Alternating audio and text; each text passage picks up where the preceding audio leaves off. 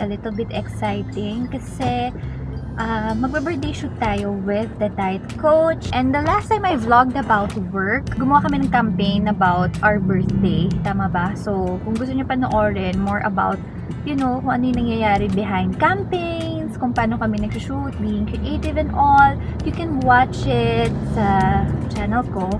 And then ngayon naman, um, bumuo na naman kami ng campaign. Siyempre, lagi tayong may pagganap. So, ang ginawa naman natin ngayon is the CEO Glow with the Diet Coach. So, ayan guys, we are currently on the way to Marikina.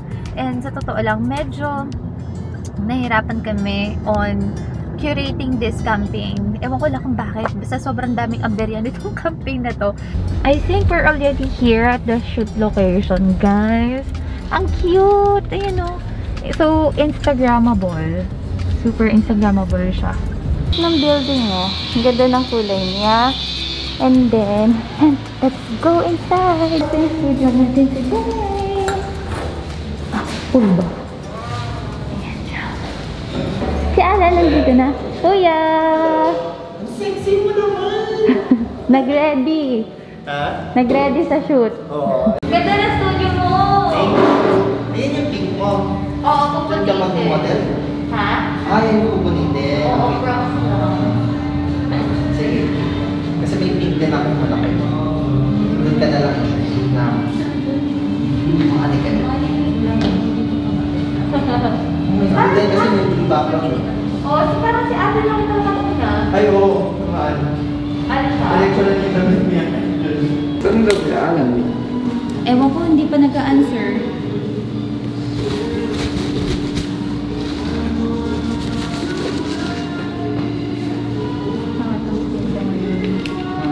Bakit sa lagay na to? Charan! So guys, tapos na yung makeup ko and I like it so much kasi yung first layout namin is fresh fresh and lang daw. So, ayan, ang ganda. Nakaka-pretty siya sis. Thank you! Ito na po yung first layout natin. Yellow-yellow lang siya. Oh, nakaka-conscious yung chan ko. Anyways, ayan yung makeup ko. Grabe, oh. Hello, guys! Hello! Good morning guys and welcome back to another vlog. Today is going to be an errands day. Hence, ganito yung itsura ko. Mukha ko ang pang-errands talaga. Anyways, magsa-sunblock muna ako. And then, this is the sunblock I've been using lately. Ito yung Biore UV Watery Gel. And uh, sobrang ganda nito for everyday. Ilalagay ko nila yung link sa comment section kung gusto nyong magamit to.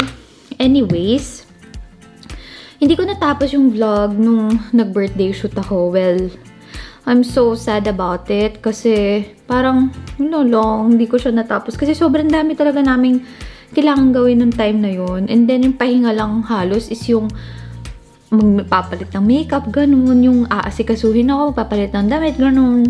Wala rin akong magawa. So, ayan. I feel bad naman na hindi ako nakapag-vlog ng ilang ilang weeks na ba akong hindi nakapag-update sa inyo? One week na ata. And then, ngayon, ang gagawin namin ni Daddy Charles Sunday kasi ngayon and family day.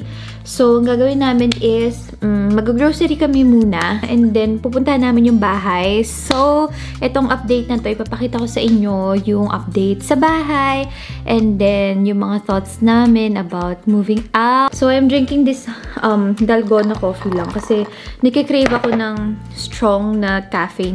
And then, inom na ako ng Ultra Glutaglow, my trusted glutathione supplement. Ayan, pampaputi. This is the glutathione that I'm using. Ililink ko na lang sa baba kung gusto niyo siyang mabili. And then, mag-glow up naman ako for my collagen supplement. So, medyo ini-step up ko yung skincare routine ko lately kasi medyo ang dull na puting na ng skin ko. Hindi na po ako parang puting papel and I miss puting papel. Okay guys, so this is what I'm wearing. So, ang cute nito. Pink panther top from um, Zara and then shorts lang din from Zara. Lately, I've been loving Zara clothes and then bag from Balenciaga. So, yan ang outfit natin today. Let's go! At yung suot ko yung crocs ko. Din grabe. Sobrang maulan lately. Let's go! 인데 유치해 미안해 하지만 그 어떤 세련된 말로도 대신 못해. 사실 달려가 너를 안고 싶어. Cause you are my baby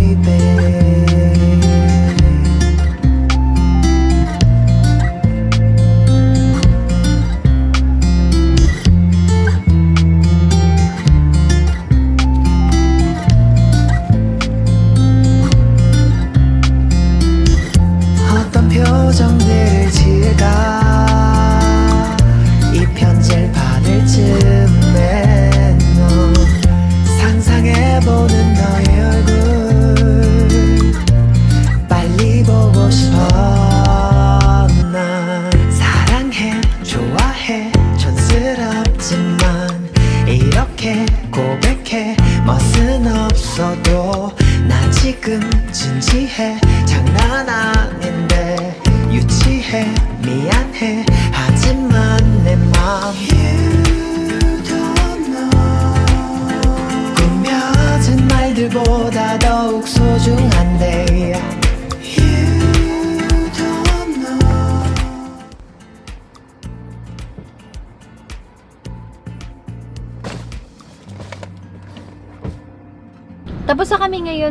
ano, mag-grocery. And then, pupunta tayo ngayon dun sa house um, to update you real quick.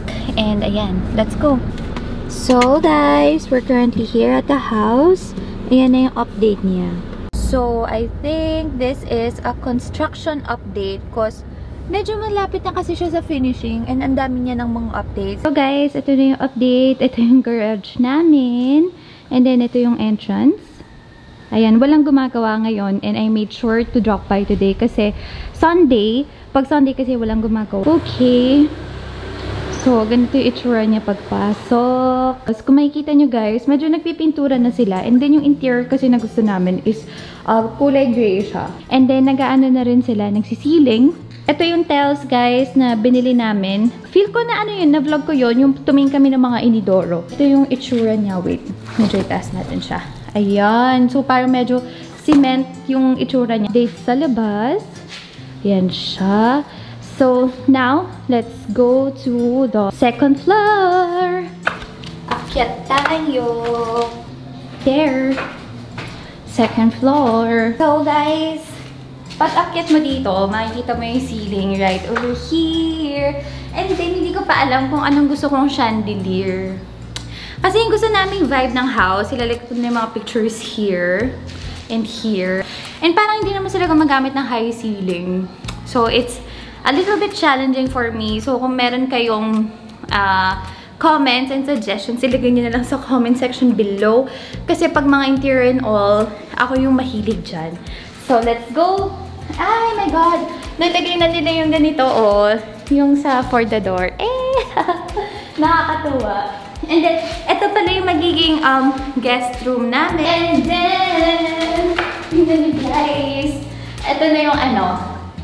Ito yung window namin. Hala, baka masira ako. Pero, ayan siya. Hindi ko masara.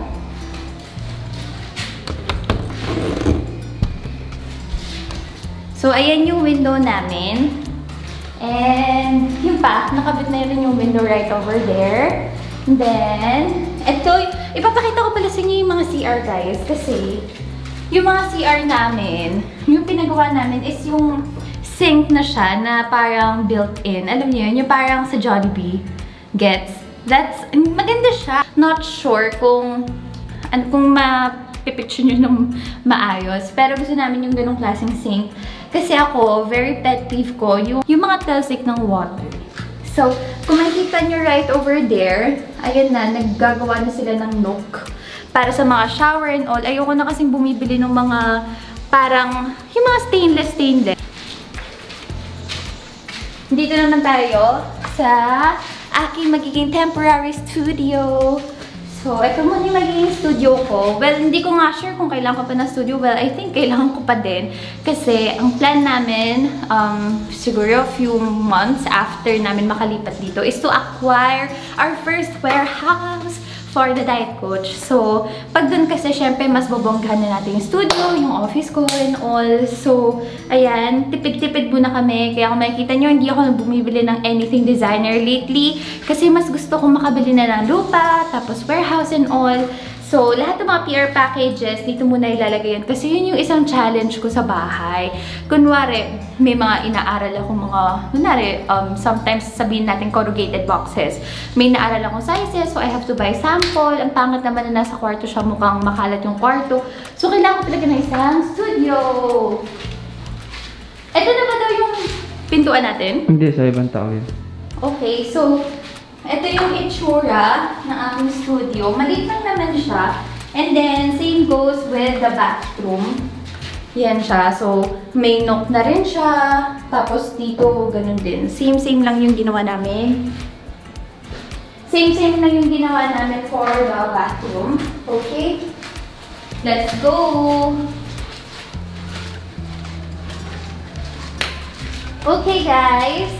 So, on the kabilang side, ito na yung kwarto ni Clea. So, ito yung isa sa mga bongbong kwarto dito sa bahay. So, pagpasok nyo, ito yung walk-in closet niya. Yan siya, walk-in closet ni Clea. And then, ito yung liwan niya, bathroom. And then, kung makikita nyo, pinupormahan na nila yung...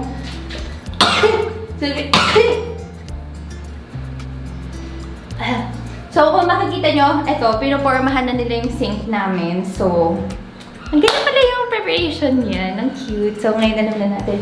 And then, ito yung magiging shower niya.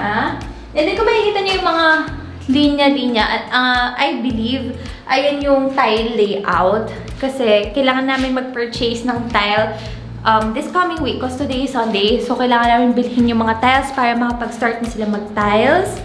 And then, ito yung kwarto ni Miss Clay Serene. Yan siya. Kung makikita nyo, um, tapos na rin sila mag-ceiling-ceiling. Here. Tapos meron siyang malaking mirror right here. Mhm. Yan, ang ganda ng lighting niyan for sure. Di ba? Tapos, meron siya dito, ayan, meron siya ditong balcony. Yan lang naman yung update.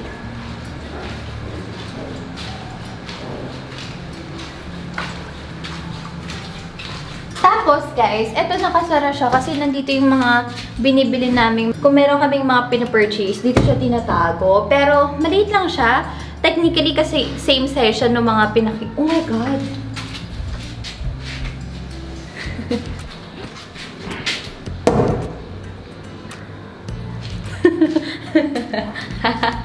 Katakot? Anyways, guys, parang technically same size siya. Baka dahil tinuktok ko, tapos na... Hindi ba binuksan ni Kuya? Same size to dun sa mga old, sa mga other rooms. Pero, ito yung magiging um, playroom ni Clea. So, ito yung room niya. Ito yung magiging playroom niya. Feeling ko kasi magiging ano siya, yung parang quarantine baby na kailangan niya mag, um, kailangan niya mag um, homeschool, ganyan. So, nag-prepare na ako ng room ng katabi lang ng room niya. Kasi natatakot ako dito sa may, ano, sa may um, stairs, ba Maliit pa lang siya eh. Kaya, dapat yung playroom niya sa kabilang side. Pero sabi ko dito na lang, para hindi na siya access ng access dun sa stairs. Nakakatakot. So, um, actually kasi, dapat um, itong CRs, kabilang siya dito sa um, room na to. Kaso parang the last minute, nagkaroon sila ng um, parang di, hindi pagkakaunawaan sa design and masama ata sa feng shui. So, kailangan namin siya ilabas, yung CR. So, parang naging common bathroom na siya dito sa second floor. So, ayun. Ang ganda rin ginagawa nila, oh. So, kasi yung bahay namin, guys, ano siya? Design and built. So, may contractor kami na sila yung nag-design, tapos sila rin yung nagtayo ng bahay. So, um, technically, sila nag nagbigay ng mga suggestions and everything. So, ayan, yun siya. So, punta na tayo sa third floor. I'll be showing you guys update.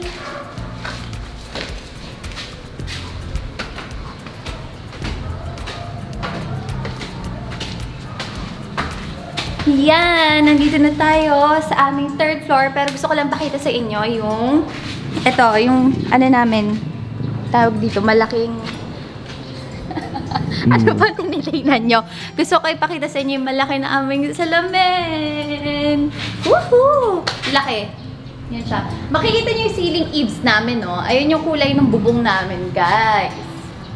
Ayan. Grabe, di ba yung mga ibang house tour, parang may mga kasama silang mga nanay, may kasama silang mga kapatid and all. Kami ni Daddy Charles kami lang. Ayan, ito na yung next chapter ng buhay namin. Ha? Ayoko, hindi pa ako ready maging isang ina, hindi pa ako ready maging isang homemaker. So, yan. Akit na nga tayo. Ayan, ito na, ito na, ito na. Ang floor namin ni Daddy Charles. Nandito kami sa third floor kasi para ma-exercise naman ako na everyday ako akyat ng three flights of stairs. So, try natin. okay. So, ito na po yung master's bed. Ba, ba, ba. Ito na po yung master's bedroom. Tapos, kung nakikita nyo, yung ceiling namin dito, mas minimalist siya. Gets? Kasi guys, nung ginagawa to, parang ang gulo. Ano ba? Yung sa baba, di ba, parang mas marami siyang mga butas-butas. And, uh, ayun, hindi namin siya nagustuhan. So, sabi namin sa masters, gusto namin mas simple siya and elegant. And then, ayan, nagpalagay ako ng switch dito, oh. Nakikita nyo? Bagong butas siya. Bagong tabas siya. Kasi, nagpalagay ako ng switch para sa ilaw dito. Para kasi, nakakatamad tumayo tayo sa gabi, promise. Pinag-aawayan namin siya ni Daddy Charles. Talagang sumisimangot siya pag pinapa um, sarap yung ilaw. Kaya, nagpalagay tayo dyan. Para iwas away. So, yan. Maraming mga salamin na uh, windows na malalaki. Kasi sinabi ko sa kanila, architect, na gusto ko maganda lighting ng house. Okay? So, may dalawang entry to the CR. Yan. Entry 1 and entry 2. Ito yung entry ng boys. Ito yung entry ng girls. Char. So, Tara! Ito po yung aming restroom. Ito yan. And then, hindi pa sila masyado nakakagalaw-galaw dito kasi inaantay nila yung bathtub na bibili namin. And in-update ko kayo sa IG nun guys ha. Bibili na namin yung bathtub or ewan ko lang, di ko sure kasi ang mahal niya. Yung bathtub na nagustuhan namin is parang 368,000 yung price. So, ayun lang. Gusto ko lang sabihin sa inyo kung gusto niyo yung freestanding na bathtub, yung Tuma nakatayo siya mag-isa, hindi yung parang sa hotel. Sobrang mahal niya, guys. Hindi naman siya sobrang mahal. Well, kung gusto niyo yung medyo classic na design, yung, yung parang square lang, tapos very common, medyo mura lang siya. Mga nagre-range siya ng mga 98, 80, ganyan. Pero common yun. That's the, feeling ko yun yung benchmark sa market. Pero pag gusto niyo medyo artistic siya, grabe, yung mga medyo artistic, talagang minimum na yung 300,000. So, wala lang, sinishare ko lang sa inyo yung figures kasi alam ko, adulting na rin kayo, darating din sa point na mga ngarap kayo for your own bathtub. Gusto ko lang ma-preempt yung gagastusin nyo. Okay? So, eto, eto yung magiging, dito yung space ni Daddy Charles. Yan yung magiging lagay niya ng mga cabinet niya. And then, sa akin naman, and, and, and then, ito pala yung sink namin. Dalawa siya, his and hers, kasi ang hassle kasi pag isa lang eh. Tapos, parang yung concept nito, nasa gitna yung shower area. Yan. Tapos, nandito yung bathtub. So, baka daw gumalaw, kasi parang, ano eh, dito yung CR namin and urinal. So, yun lang.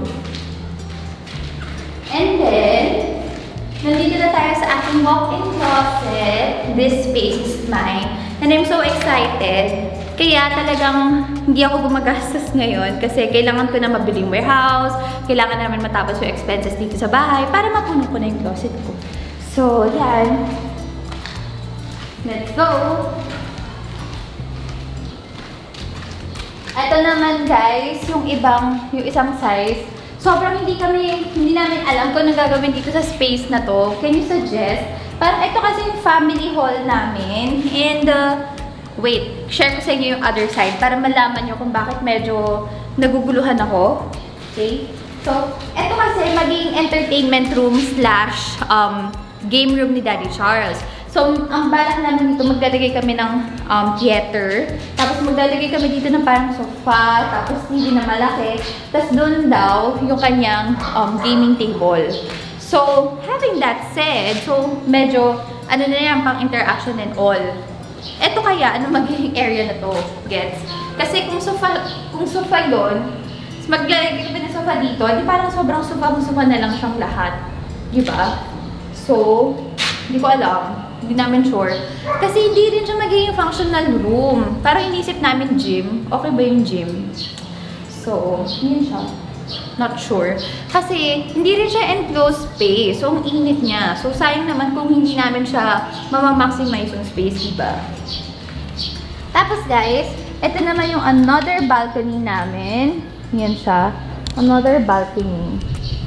So, yun. Yun lang naman mga update sa house. Siguro gagawa nila ako ng update number 2 pagka medyo marami ng update. Or pagka nagtatiles na sila, di ba medyo exciting yun. So, ngayon, punta naman tayo sa labas ng bahay para makita ko sa inyo kung ano yung mga other rooms pa. So, nandito tayo sa garage natin, namin. And then yung garage namin, it's a three-car garage. And then, ito pala yung ano, anong tawag dito? Ah, porch? porch. Porch. Okay, so dito yung entry ng mga tao. Knock, knock, knock. Tapos, Kuya, di ba natambakan nyo pa to? Tatasan, hindi na. Ah, yan? Papantay. Ah, okay. Tapos ayan. Tapos ito na yung apakan namin. Opo. Sakto na yung main door. Ayun yung main door. Ito kuya, parang na-flat nyo na po. Nabuhusan na to, no? Opo. Bubuhusan na lang po yung sa kabila. Ganito na to. O tiles pa dali. Ito tiles pa yan. Tapos ito, yung bathroom ng aming mga common bathroom. Para sa driver, para sa yayas. Tapos, ito na yung um, rooms ng yayas namin. Yan siya. Pero kung makikita nyo, sobrang high ceiling siya, diba? Kasi parang gagawa namin siya ng loft. Loft type siya. There. And then, eto, magkakaroon kami dito ng parang maliit na storage room. There. Tapos kung makikita nyo, ayun na, nagbubuhos na sila. And then yon entry to the kitchen. Yun yung mga update sa house. Yun lang.